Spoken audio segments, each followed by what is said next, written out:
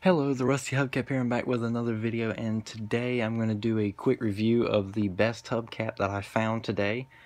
I found plenty of other ones, but I chose this one in particular because I this one I've been really wanting to find for quite a long time, and surprisingly, these aren't as common as you may think. It's a 1996 to 1999 Saturn S hubcap, and uh, in great condition besides all the scratches, all the lug nuts, all the uh, fake ones are there. The spokes are in good condition.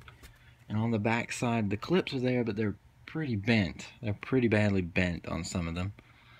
And uh, this one's curled all the way back. As you can see, it's not really all that good. And uh, there's a lot of brake dust on the back side of this one. And I believe on the date calendar here it says uh, April or May.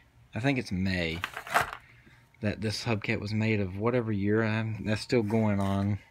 That's ongoing research but um I was just gonna do a quick video of this. This is a 14 inch as well and this is probably one of the coolest Saturn hubcaps out there besides the uh, the early 90s so um uh, I just wanted to make this quick video and I'll see you guys next time. Later